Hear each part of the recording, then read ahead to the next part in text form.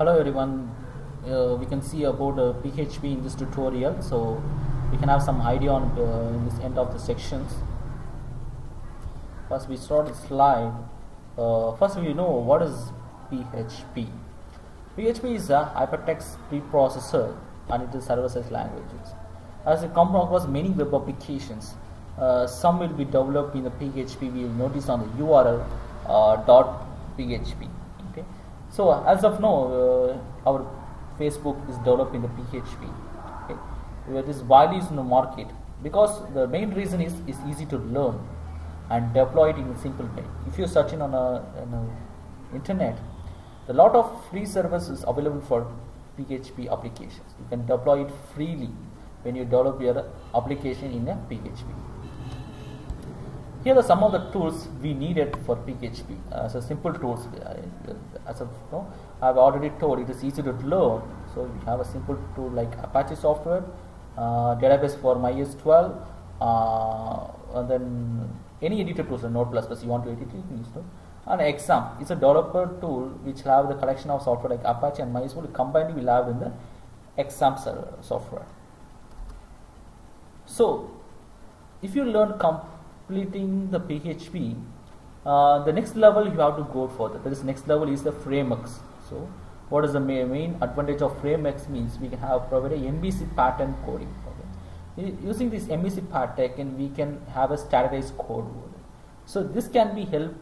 It can be done with the help of uh, this top 10 frameworks. Okay, you can have choose any frameworks and you can work in on. You have explore more on this and it can be used in your future. Uh, here the some other content management system is uh, available in PHP. So as a famous thing is WordPress will came to know uh, while you're learning the PHP the, the WordPress will be in, in the talk. Okay.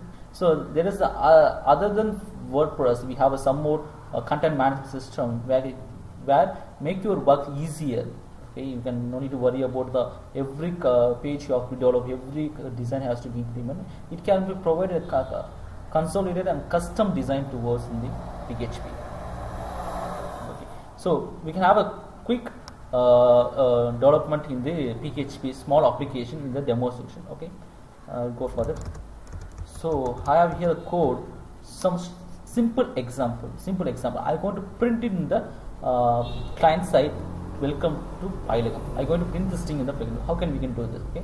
First, I already told that we can choose any editor tools like Notepad++. Okay. Notepad++ plus we can choose. Uh, I'm taking the Notepad++ plus for editors. I have given a syntax called PHP and echo is for print to print. Uh, I'm the PHP and I'm closing the PHP. This can be saved into XAMPP server. Okay, XAMPP where I'm having the C drive XAMPP folder and here will be called as htdocs folder. So here I'm saved into take uh, test.php.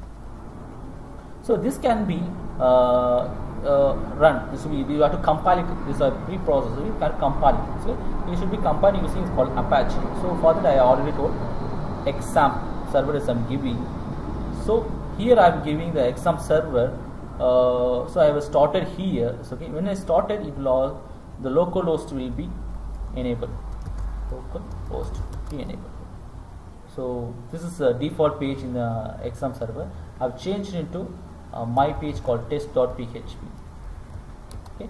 I run it. So here I'm having the PHP so the PHP learning PHP is very simple and we can easy to develop okay? If you are uh, uh, have an idea to develop a small applications we can develop using the PHP okay? So in this tutorial we have a short note in the PHP in deeper manner we have continue on the next tutorial.